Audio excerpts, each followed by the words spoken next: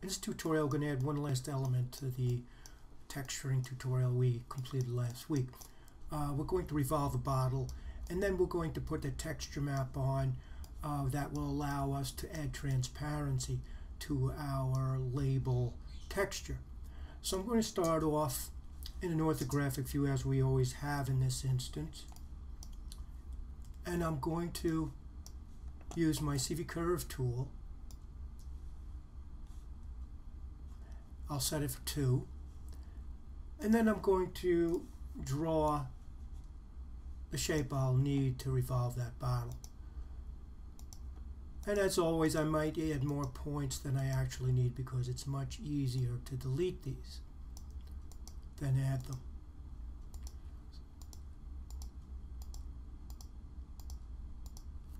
And I'll hit return to set the path.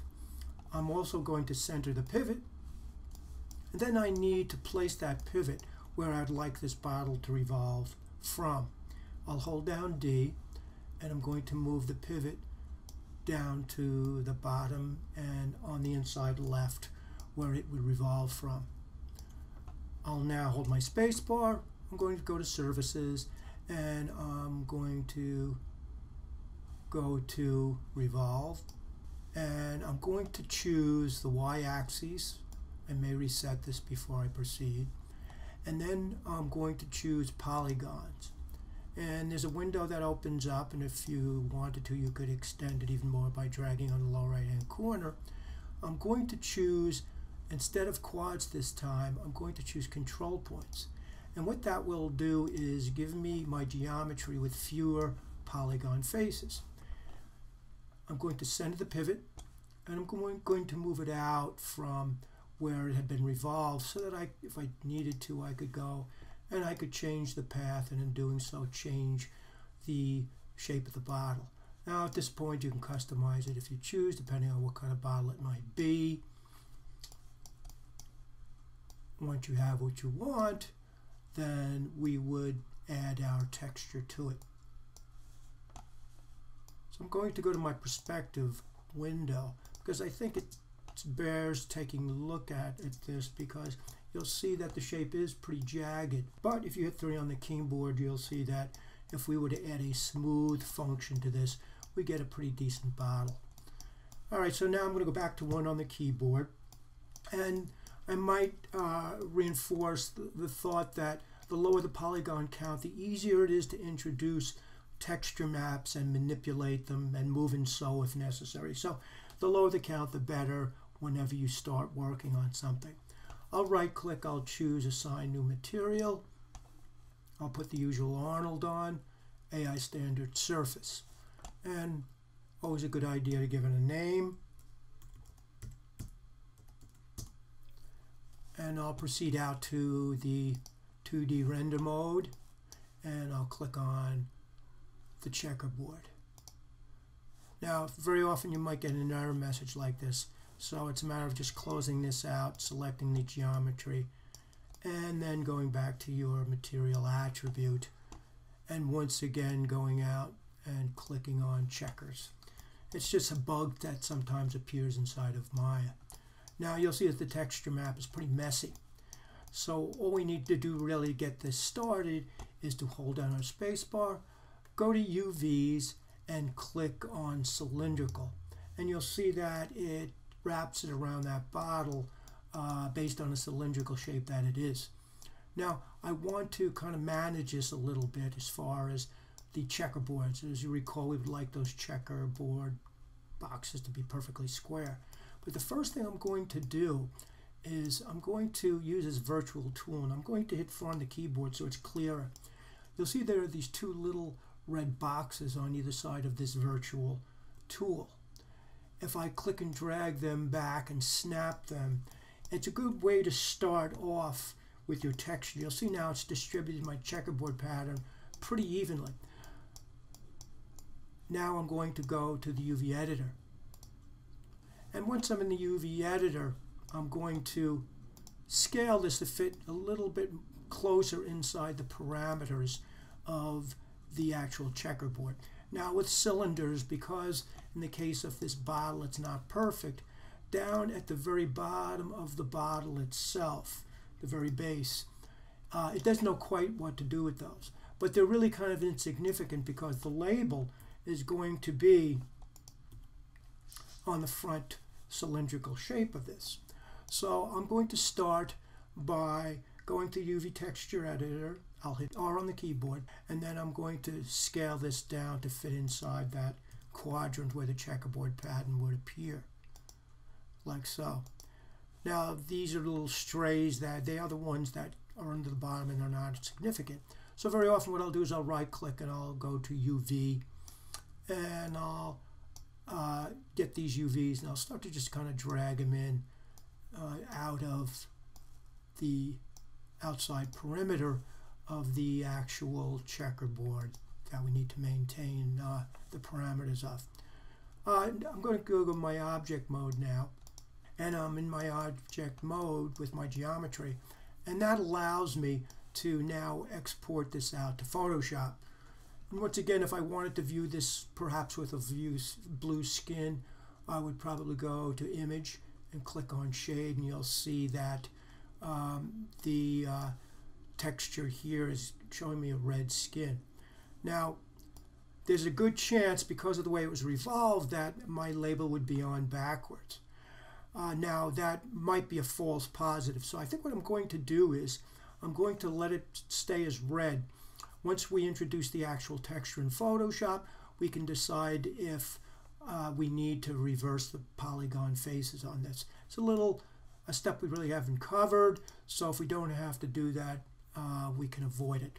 So the best practice now is to simply go to Image, UV Snapshot, and then I'll go to my source images, and I'll call it bottle skin, and I'm going to click on apply and close. Remember, if you get an error message when you click on apply and close, you are not in the true object mode for the bottle. Simply click off on it, click on it again, right click, choose object mode, and just to make sure, reselect. We're going to go into Photoshop and now build out texture.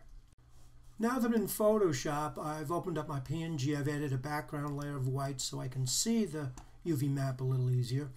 And I've gone and just created uh, a simple green layer with a wine label I found out online. And I'm just kind of placing this anywhere in relationship to the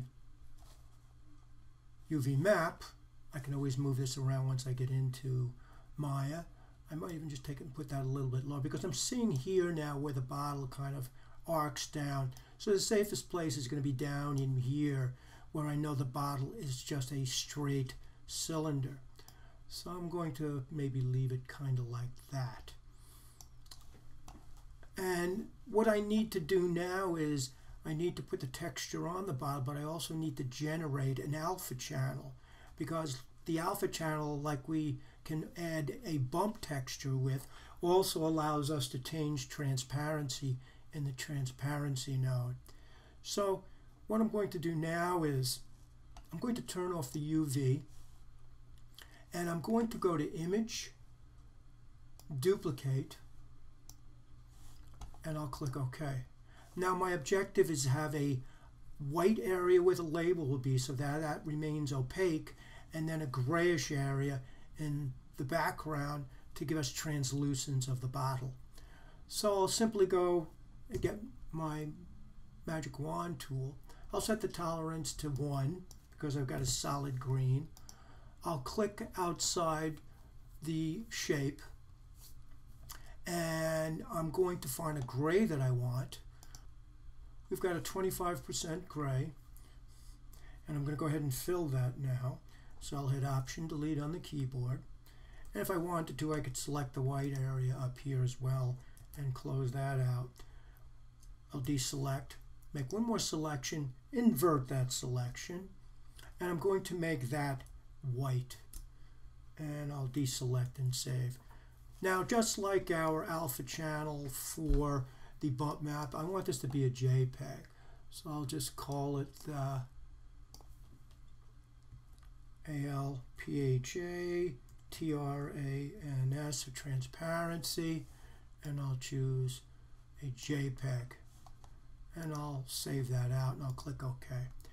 Now that I'm back in Maya, I'm going to right click on the bottle and I'm going to choose material attributes. I'm going to make sure to break the connection between this and the checkerboard so I'll put my cursor directly over the word color underneath the base tab and I'll choose break connection and then I'll follow the color tab back out to add my texture that I just created. Now that I'm back in Maya, I'm going to right click on the bottle, go to material attributes, I'm going to right click over the word color under the base tab, choose break connection. I'll go back out through my file and I'll connect that new PSD label. And you can see how well that worked. So I'll select it, I'll hit 3 and roll off. You can see it does a pretty respectable job. So the next thing we want to do now is uh, we want to make our transparency channel work. So I'll go to my material attributes one more time and then I'm going to scroll down and I'm looking for geometry. If you recall, we introduced our bump map here for our door. Well, this is where the opacity uh, texture is added as well. So I'll click on the checkerboard. I'll go out through File, into my folder, and I'm going to get that alpha transparency. And you won't see an immediate change because with the Arnold render engine, we have to be sure that we also turn off the opacity or opaque quality of the geometry as well. With the bottle selected, I'm going to go to the revolve surface shape and I'm going to open up Arnold and I'm going to click off on opaque. Now I won't see any difference in this until I actually start to play with the render engine so I'm going to be sure to have a light and I'm also going to shine it on the bottle and adjust it so that we have a clear idea of what's going on. Now that I've got my light on and my Arnold render view up, I can see that the bottle looks pretty decent. If I'd wanted to, I could have gone back into Photoshop and played with the gray background of the alpha channel for the transparency, but I think this works pretty well. And that's pretty much all there is to it.